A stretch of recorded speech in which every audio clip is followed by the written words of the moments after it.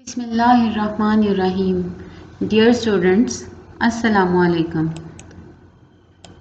Hope you all will be fine. जैसा कि आपको पता है हम लोगों ने चैप्टर नंबर एट स्टार्ट किया हुआ है aliphatic hydrocarbons and in this chapter today we will discuss I U P S C नॉमन of alkanes इससे पहले आप कॉमन या ट्रिवियल नेम के बारे में पढ़ चुके हैं और I U P S C Neyman नॉमन का जो इंट्रोडक्शन है, वो भी आप पढ़ चुके हैं। अब इसको हम अल्केन्स पे अप्लाई करेंगे। So I U P S C nomenclature of some set sets of rules and we have to follow these rules to name the compound यानी कुछ ऐसे rules हैं कि जिनको follow करके हम किसी भी अल्केन को नाम दे सकते हैं तो उन rules को हम study करेंगे first of all rule number one is locate the longest continuous chain of carbon atoms this chain determine the parent name for alkane यानी सबसे पहले हमने जो स्ट्रक्चर हमारे सामने होगा, उसमें ये देखना है कि कार्बन चेन सबसे जो लंबी कंटिन्यूस कार्बन चेन है वो कौन सी है और कितने कार्बन की है। जैसा कि इस एग्ज़ाम्पल में अगर आप देखें तो ये हमारे पास, आप देख रहे हैं कि ये हमारे पास लॉन्गेस्ट कंटिन्यूस चेन है और इस चेन को अगर हम देखें तो ये total one two three four five and six six carbon पर मुश्तमिल है और अल्केन का जो पेरेंट नेम है, जो रूट नेम है, वो इसी से हम डिसाइड करेंगे। जैसा कि आपको पता है कि सिक्स कार्बन जो है, उसके लिए हम सिक्स के लिए टर्म यूज़ करते हैं हेक्सा और सिक्स कार्बन अल्कीन को हम कहते हैं हेक्सेन तो जो ये कंपाउंड ऊपर आपको नज़र आ रहा है, इसको हम कहेंगे हेक्सेन क्यों? क्योंकि इसमें जो लॉन्गेस्ट कंटिन्यूस चेन है, वो छः कार्बन एटम्स पर मुश्तमिल है. ये रूल नंबर वन है, यानी हमें सबसे पहले लॉन्गेस्ट कंटिन्यूस चेन सेलेक्ट करनी है और उसके मुताबिक अल्केन का नाम देना है. अब इसमें एक इंपॉर्टेंट चीज़ जो कि आपने नोट करनी है वो ये है कि the longest continuous chain may not always be obvious from the way formula is written यानी जिस तरह से फार्मूला स्ट्रक्चरल फार्मूला लिखा हुआ होता है, ज़रूरी नहीं है कि वही आपकी जो है उसी फॉर्म में लॉन्गेस्ट कंटिन्यूस चेन हो। जैसे कि आप देखें कि ये आपको एक फार्मूला नज़र आ रहा है आपके सामने। इसमें अगर आप इस फार्मूले की शक्ल को देखें तो आपके सामने आपको शायद लगे कि ये लॉन्गेस्ट कंटिन्यूस चेन है, जबकि असल में ऐसा नहीं है। अगर आप इस पर गौर करें, एक इसका लॉन्गेस्ट कंटिन्यूस चेन आपकी ये सिलेक्ट होगी। दूसरा जो है, अगर आप इस पर गौर करें तो लॉन्गेस्ट कंटिन्यूस चेन जो सेकंड है, वो ये वाली है। इस स्ट्रक्चर में अगर आप इसको लॉन्गेस्ट कंटिन्यूस चेन सेलेक्ट करते हैं तो इसमें एक, दो, तीन, चार, पाँच, छ सिक्स कार्बन एटम्स हैं। अगर आप इसको लॉन्गेस्ट कंटिन्यूस चेन सेलेक्ट करते हैं in that case we have one two three four five six and seven carbon atoms यानी इस केस में हमारे पास सेवन कार्बन एटम है। तो हमने वो चेन सेलेक्ट करनी है जिसमें मैक्सिमम कार्बन एटम्स हों। उसके लिए हमें हर पॉसिबिलिटी पे गौर करना है। सिर्फ़ जिस पूरत जिस फॉर्म में फार्मूला लिखा हुआ है, ये नहीं कि ये फार्मूला और आप स्ट्रेट चेन को सिलेक्ट कर लें। इस फॉर्म में भी आपकी जो है लॉन्गेस्ट कंटिन्यूस चेन हो सकती है। तो इस तरह से आपने ये सिलेक्ट की कार्बन सेवन कार्बन वाली चेन और सेवन कार्बन अल्केन के लिए हम टर्म यूज़ करते हैं हैप्टेन तो इस कंपाउंड का, इस ऑर्गेनिक कंपाउंड को हम नाम देंगे हेप्टेन का, क्योंकि इसमें जो लॉन्गेस्ट कंटिन्यूस चेन है, वो सेवन कार्बन एटम्स पर मुश्तमिल है। उसके बाद इन द सेकेंड जो रूल है, वो ये है कि the number the longest chain beginning from the end of the chain nearer the substituent अब आपने कार्बन लॉन्गेस्ट कंटिन्यूस चेन को नंबर करना है। और नंबर आपने किस तरह से करना है? नंबर आपने उस एंड से करना है, उस साइड से करना है, जो कि सब्सिट्यूएंट के करीब हो। Now what is substituent substituent जब आप मेन चेन सेलेक्ट कर लेते हैं तो मेन चेन सेलेक्ट करने के बाद जितने भी ग्रुप्स अटैच होते हैं, उनको हम कहते हैं सब्सिट्यूएंट जैसे कि ये आपकी लॉन्गेस्ट कंटिन्यूस चेन है तो उस केस में ये जो साथ ये मिथाइल ग्रुप अटैच है, ये कहलाएगा सब्सिट्यूएंट अब आपने इसको नंबरिंग इस तरह से करनी है कि सब्सिट्यूएंट करीब हो। जैसे अगर आप इस एंड से नंबरिंग स्टार्ट करते हैं तो one two three four five carbon number five पे सब्सिट्यूएंट लगा हुआ होगा। जबकि अगर आप इस एंड से करते हैं नंबरिंग तो जैसे कि आप देख रहे हैं कार्बन थ्री पे सब्सिट्यूएंट है। तो आपने नंबरिंग लोअर एंड से स्टार्ट करनी है, ताकि सब्सिट्यूएंट को छोटा नंबर मिले। ठीक है? इस तरह से आप अगर दूसरी एग्जांपल देखें, ये जो नीचे लिखी हुई है, इसमें आपकी आपको नज़र आ रहा है कि ये आपकी लॉन्गेस्ट कंटिन्यूस चेन है और चेन के अलावा साथ जो ग्रुप अटैच होते हैं, उनको हम कहते हैं सब्सिचुएंट तो ये हमारे पास सब्सिचुएंट है और अब हमने इसको नंबर कैसे करना है कि अगर हम इसको लेफ़्ट हैंड से नंबरिंग करते हैं तो substituent will be at one two three four carbon number five and if we start numbering from right hand then substituent is attach to carbon number two तो नंबरिंग हम उस and से करेंगे जहाँ से सब्सिट्यूएंट जो है वो नियर होगा करीब होगा और इस तरह से हम यहाँ से इसको नंबर करेंगे। तो स्टूडेंट्स uh, ये था हमारा रूल नंबर टू के चेन को हमने नंबरिंग उस एंड से करनी है जहाँ से सब्सिट्यूएंट करीब हो और उसको लोएस्ट पॉसिबल नंबर मिले। अब उसके बाद हम देखेंगे rule number three According to rule number 3, use the number obtained by the application of rule 2 to designate the location of the substituent group rule number two में हमने क्या किया है कि कार्बन चेन को नंबरिंग दी है। अब कार्बन चेन को नंबर देने के बाद जो हमारे पास सब्सिचुएंट वाली कार्बन का जो नंबर है जैसे कि सब्सिचुएंट कार्बन टू पे अटैच हो है तो सब्सिचुएंट का नंबर होगा टू अगर सब्सिचुएंट तीसरी कार्बन पे अटैच है तो उसका नंबर होगा थ्री अगर चौथी कार्बन पे अटैच है तो नंबर होगा फोर उसके बाद क्या करना है हमने कि the parent name is placed last यानी जब हम कंपाउंड का नाम लिखेंगे तो जो पेरेंट नेम है, वो हम एंड पे लिखेंगे. जैसे अगर हेक्सेन है हेप्टेन है तो वो हमने कहाँ लिखना है? सबसे एंड पे. And the substituent group preceded by the number designating its location on the chain is placed first. यानी सब्सिट्यूएंट का नाम आप पहले लिखते हैं। सब्सी सब्सिट्यूएंट के नाम से पहले आप उसका नंबर लिखते हैं। यानी आप बताते हैं कि ये सब्सिट्यूएंट कौन सी कार्बन पे लगा हुआ है। नाम लिखते हुए आपने क्या करना है कि सबसे पहले आपने सब्सिट्यूएंट का नंबर लिखना है कि वो किस कार्बन पे लगा हुआ है, फिर सब्सिट्यूएंट का नाम लिखना है कि वो कौन सा सब्सिट्यूएंट है मिथाइल इथाइल प्रोपाइल उसके बाद फिर आपने पेरेंट नेम जैसे हेक्सेन हेप्टेन है, वो लिख देना है। और नंबर्स जो हैं they are separated by word from word by a hyphen यानी जो सब्सिट्यूएंट का नंबर और उसका नेम है, उनको अलग करने के लिए हमने दरमियान में हाइफन लगाना है। इस रूल को इन अप्लाई करने के लिए रूल नंबर थ्री को हम इस एग्जांपल से देखते हैं। आप जैसे ये देखें आपके सामने कंपाउंड है। फ़र्स्ट रूल के तहत हमने लॉन्गेस्ट कंटिन्यूस चेन सिलेक्ट की।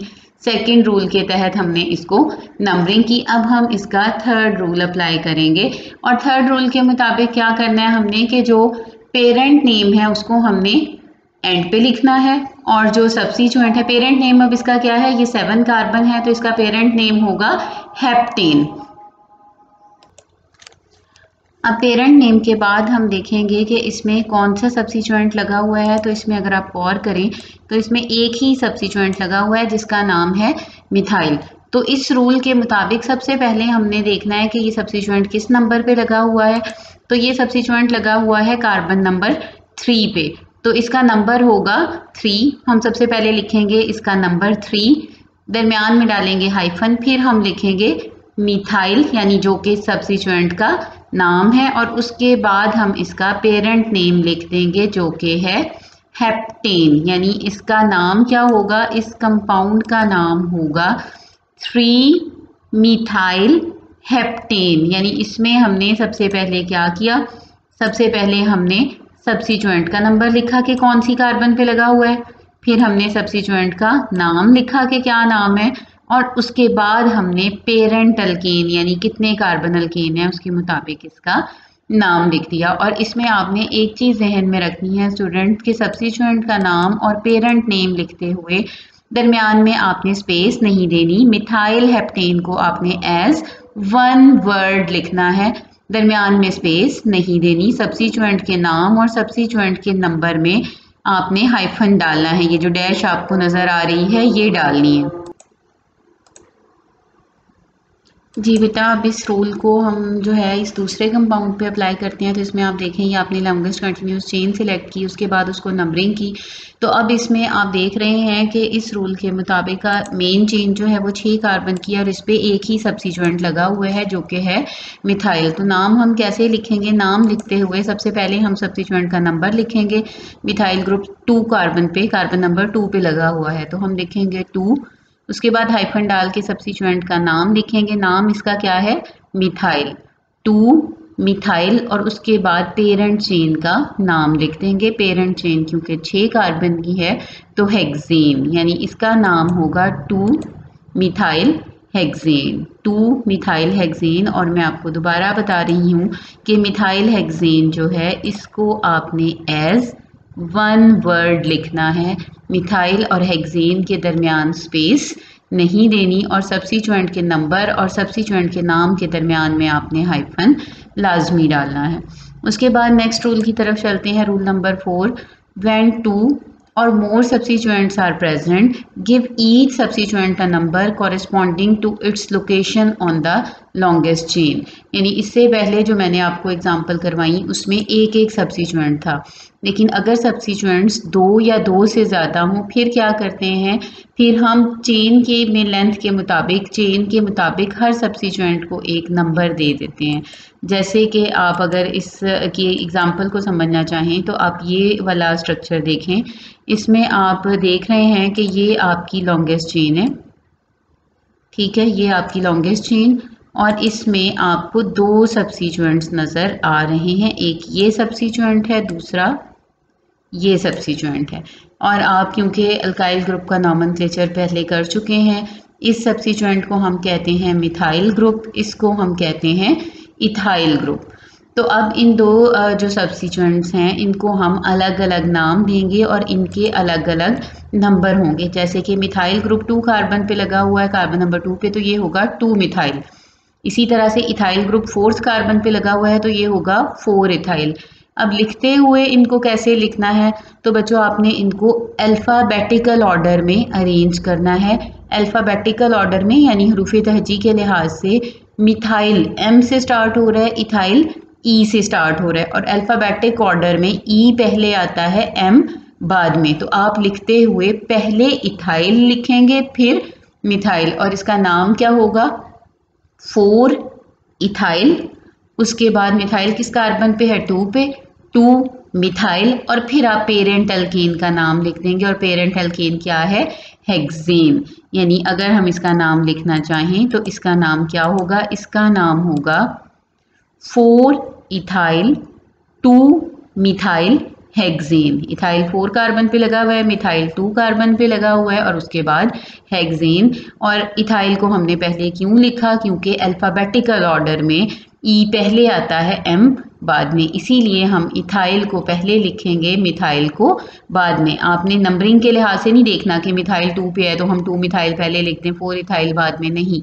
आई रूल्स के मुताबिक अगर एक से ज़्यादा सब्सिचुएंट्स हों तो इनको हम अल्फ़ाबेटिकल ऑर्डर में अरेंज करेंगे। इथाइल को पहले लिखेंगे मिथाइल को बाद में लिखेंगे।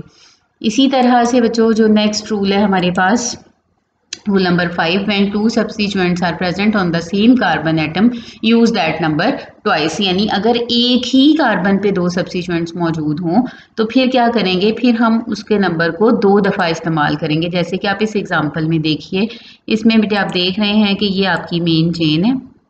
इसके बाद इसके ऊपर दो सब्सिट्यूएंट्स लगे हुए हैं। कौन सी कार्बन पे? कार्बन नंबर थ्री पे। कार्बन नंबर थ्री पे आप देखें कि एक ये सब्सिट्यूएंट नीचे लगा हुआ है इथाइल जबकि ऊपर लगा हुआ है मिथाइल तो आपने जब इसका नाम लिखना है तो नाम लिखते हुए आपने लोकेटर नंबर को दो दफ़ा लिखना है। थ्री यानी मिथा इथाइल लिखते हुए भी आपने लिखना है थ्री इथाइल मिथाइल लिखते हुए भी लिखना है थ्री मिथाइल यानी आपने ऐसे नहीं लिखना कि एक ही दफ़ा लिख के थ्री और फिर इथाइल मिथाइल लिख दें, नहीं। थ्री इथाइल थ्री मिथाइल और फिर हेक्सेन यानी ये इसका, अगर आप नाम लिखना चाहें तो ये इसका नाम होगा three ethyl three methyl hexane यानी इथाइल के साथ नंबर अलग लिखना है मिथाइल के साथ नंबर अलग लिखना है।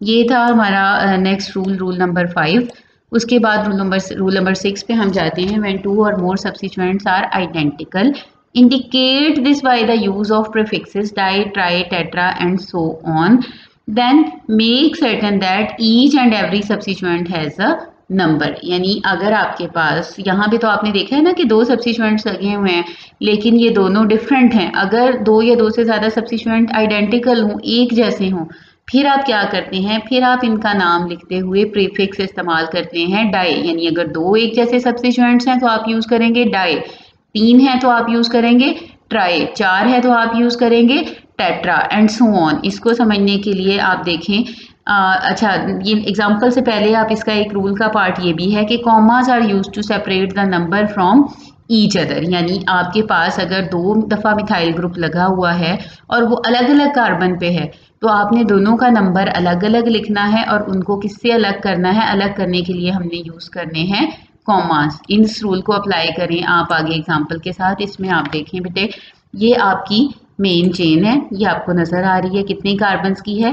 One two three four carbon की मेन चेन है, यानी ये एक ब्यूटेन है। और अगर आप इस पर गौर करें, इसके स्ट्रक्चर पे तो आपको इसमें दो सब्सिचुएंट्स नज़र आ रहे हैं। ये एक कार्बन नंबर टू पे, दूसरा सब्सिचुएंट है कार्बन नंबर थ्री पे। कार्बन नंबर टू और थ्री पे, ये दोनों सब्सिचुएंट जो हैं, वो आइडेंटिकल हैं सेम हैं। तो आप क्या करेंगे, पहले टू पे जो मिथाइल ग्रुप है, उसका नंबर लिखेंगे टू फिर जो थ्री कार्बन पे मिथाइल ग्रुप है, उसका नंबर लिखेंगे थ्री दोनों के दरमियान में डालेंगे कॉमा और उसके बाद, क्योंकि ये दोनों सब्सिचुएंट आइडेंटिकल थे तो आप टू मिथाइल थ्री मिथाइल नहीं लिखेंगे, बल्कि टू कॉमा थ्री डाल के इसको लिख देंगे डाई मिथाइल यानी टू कार्बन और थ्री कार्बन दोनों पे मिथाइल ग्रुप प्रेजेंट हैं। और इसका नाम जो है, वो किस तरह से होगा कि अगर हम इसका नाम लिखेंगे तो वो कुछ इस तरह से होगा।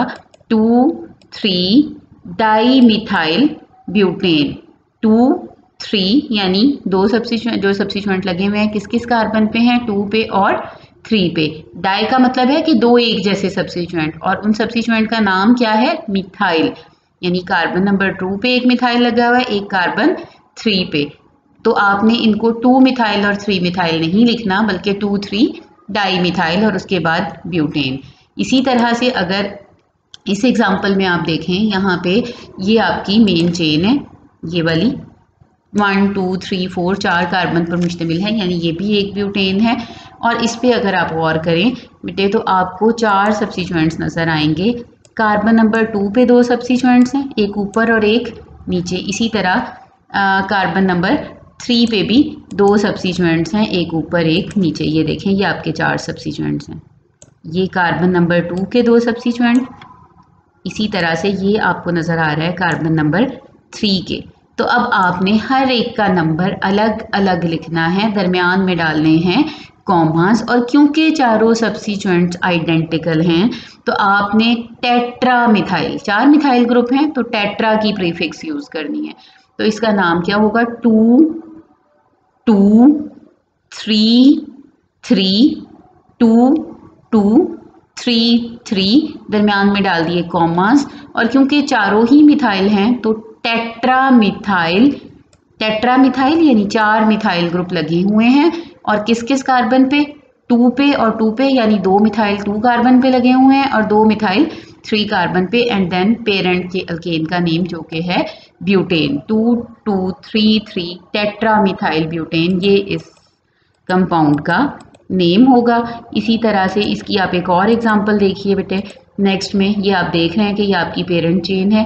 One two three four five carbon की। फाइव कार्बन अल्केन को हम कहते हैं पेंटेन इस पर भी आप अगर देखें तो आपको नज़र आएगा तीन सब्सिचुएंट्स लगे हुए हैं। एक ये एक ये और एक ये। एक जो है कार्बन नंबर टू पे लगा हुआ है, एक कार्बन नंबर थ्री पे, एक कार्बन नंबर फोर पे। तो इसका नाम क्या होगा? Two three four trimethyl pentane यानी इसका नाम जो है, वो होगा two three four two carbon पे लगा हुआ है थ्री पे लगा हुआ है फोर पे कौन सा ग्रुप लगा हुआ है? Methyl two three four trimethyl और पेंटेन यानी मेन चेन जो है वो फाइव कार्बन की है तो ये इसका नेम होगा। इसी तरह से हम जो है वो नेक्स्ट पे चलते हैं। तो हमारा नेक्स्ट रूल जो रूल नंबर सेवन है when two chains of equal length compete for selection as the parent chain choose the chain with the greater number of substituents यानी अगर हमारे पास दो चेन्स हैं जो कि इक्वल लेंथ की हैं यानी तो फिर इस केस में हम क्या करेंगे? आप जैसे देखें कि आपके पास ये दो एक, एक ही स्ट्रक्चर है। इसकी दो चेन्स पॉसिबल हैं। एक इसकी लॉन्गेस्ट कंटिन्यूस चेन आप ये स्ट्रेट चेन सेलेक्ट कर लें अगर। इसमें आप देखें one two three four five six seven carbon हैं। अब सेवन कार्बन चेन यानी ये हेप्टेन है और इसमें साथ ये जो ब्लैक डायरों में आपको नज़र आ रहे हैं, तीन सब्सिचुएंट्स हैं। इसमें ये दो सब्सिचुएंट्स जो हैं, ये मिथाइल हैं और दरमियान वाला सब्सिचुएंट जो है ये एन प्रोपाइल है। ठीक है?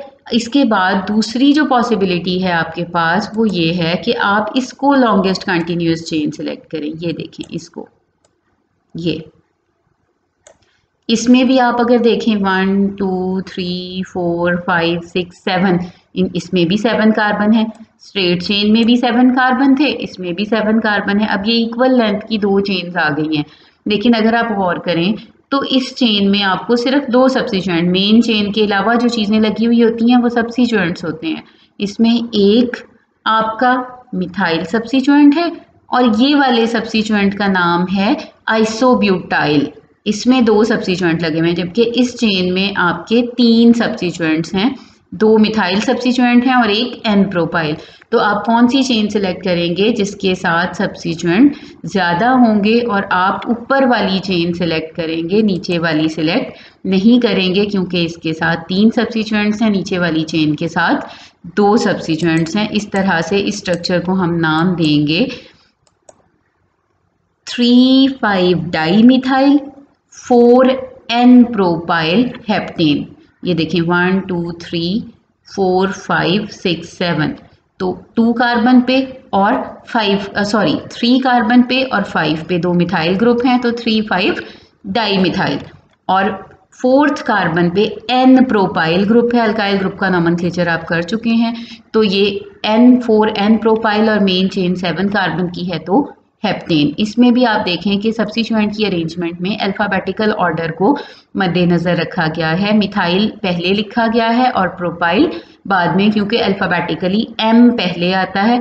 अच्छा अल्फ़ाबेटिकल अरेंजमेंट करते हुए आप प्रीफिक्सेस जो हैं डाई ट्राई इनको मद्देनज़र नहीं रखते, बल्कि सब्सिचुएंट के नाम के पहले अल्फ़ाबेट के लिहाज से अरेंज करते हैं। इस तरह से आपके पास इस कंपाउंड का नाम three five dimethyl four n propyl heptane है। अब उसके बाद नेक्स्ट रूल जो है हमारे पास last rule when branching first occur at an equal distance from either end of the longest chain choose the name that give the lower number at the first point of difference यानी अगर हमारे पास right right hand से भी पहला sufficient उतने ही distance पे लगा हुआ है लेफ़्ट हैंड से भी, फिर हम क्या करेंगे? फिर हम वो साइड चूज़ करेंगे जहाँ से फ़र्स्ट पॉइंट ऑफ़ डिफरेंस को लोएस्ट नंबर मिले। जैसे आप इस एग्जांपल में अगर आप देखें तो बेटे इसमें आपको नज़र आ रहा है कि इसमें तीन सब्सिचुएंट्स हैं। मिथाइल तीनों ही मिथाइल हैं। और अगर आप देखें तो अगर हम इसकी राइट हैंड से नंबरिंग करते हैं तो पहला सब्सिचुएंट आता है कार्बन नंबर टू पे। इसी तरह से अगर हम लेफ़्ट हैंड से भी करें तो ये कार्बन वन ये कार्बन टू यहाँ से भी पहला सब्सिचुएंट आएगा कार्बन नंबर टू पे। अब इस केस में हम क्या करेंगे? इस केस में ये वाला जो मिथाइल ग्रुप है, ये पॉइंट ऑफ़ डिफरेंस है। तो इसको हम मद्देनज़र रखेंगे। अगर हम इसको राइट हैंड से नंबरिंग कर रहे हैं तो इस पॉइंट ऑफ़ डिफरेंस को मिल रहा है नंबर थ्री अगर हम लेफ़्ट हैंड से करें तो फिर वन टू थ्री फिर इस मिथाइल ग्रुप को मिलेगा नंबर फोर तो अब इस केस में हमने नंबरिंग जो है वो राइट एंड से करनी है, जहाँ फ़र्स्ट पॉइंट ऑफ़ डिफरेंस को लोएस्ट नंबर मिले। ये वाले जो दो मिथाइल ग्रुप हैं जो आपको साइडों पे नज़र आ रहे हैं, इनको तो कोई फ़र्क नहीं पड़ता। आप राइट हैंड से नंबरिंग करें, तब भी ये टू पे आएगा। पहला मिथाइल लेफ़्ट से करेंगे, तब भी टू पे आएगा। हाँ अलबत्ता इस मिथाइल ग्रुप को, जो कि पॉइंट ऑफ़ डिफरेंस है, अगर आप राइट हैंड से नंबरिंग करते हैं तो नंबर थ्री मिलेगा, अगर आप लेफ़्ट से करेंगे तो नंबर फोर मिलेगा। इसलिए आपने इस एंड से नंबरिंग करनी है, जहाँ से इसको लोएस्ट पॉसिबल नंबर मिले, और इसका इस तरह से फिर इस कंपाउंड का जो नेम है, वो होगा हमारे पास two three five trimethyl hexene अगर हम इस एंड से नंबरिंग करते, फिर क्या होता? ये कार्बन नंबर टू होती, ये कार्बन नंबर फोर होती और ये फाइव और फिर इसका नाम होता two four five trimethyl hexene तो ये वाला जो सेकंड वाला नेम है two four five trimethyl hexene ये रॉन्ग है. ये नाम हमने इसको नहीं देना. इसका नाम है two three five trimethyl hexane ये था नॉमन क्लेचर ऑफ़ अल्केन उम्मीद है आप लोगों को आ, समझ आ गई होगी इसकी। आप जितनी ज़्यादा प्रैक्टिस करेंगे उतना ही ये आपको क्लियर होगा। और बाकी अगर आप लोगों को इसमें से कोई चीज़ नहीं समझ आती तो वो हम अपनी व्हाट्सएप क्लास में डिस्कस करेंगे। आज के लिए इतना ही। अल्लाह हाफिज़।